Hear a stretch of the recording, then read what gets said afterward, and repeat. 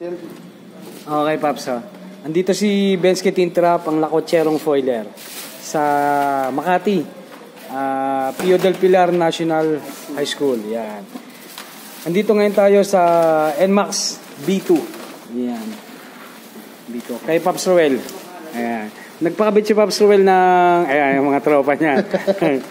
Nagpakabit siya ng Visor Carbon Fiber 70 kay Bensky Tintrap. Siya shoutout ko nga pala yung Maxifil B2 saka yung NMAX Max Maxifil B2 Makati chapter ah. Shoutout tayo diyan. Okay. Kinab ito lang kinabitan muna.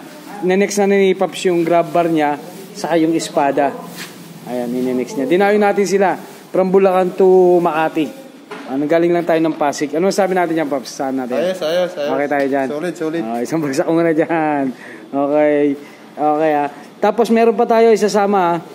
Ay, Hindi, huli na ano natin, eh, separate natin yung isa. Kasi ibang ano yan.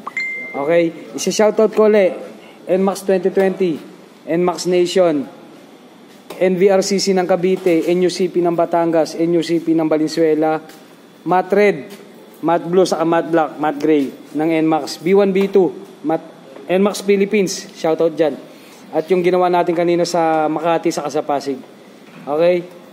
Uh, PM lang, Bensky Team Trap, subscribe sa Bensky Team Trap, ang lakotserong foiler. YouTube channel natin, pindutin nyo lang yung bell dyan. Okay na yan. Okay? Tapos lahat ng gusto magpa uh, carbon fiber, 70 PM lang, tawag sa 09 08 Okay? Thank you, thank you.